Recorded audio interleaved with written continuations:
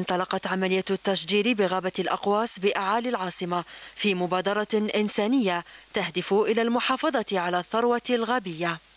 الأسبوع اللي فات غرسنا 250 اليوم 300 ومن بعد كل ما نشوفوا آه، وين راح نغرسوا مديرية الغابات هي اللي هي اللي تعطينا شحال راح نغرسوا آه، بالنسبة للكشافة الإسلامية الجزائرية ومن خلال محافظة الجزائر دائما يعني تتواجد في مثل هذه المناسبات التي تخدم المجتمع وتخدم البيئة وخاصة نحن بحوجنا إلى يعني عملية تشجير عملية محافظة على الغابات. يقول لك من غرس شجرة كأنه غرس الدنيا كاع كأنه غرس الحياة.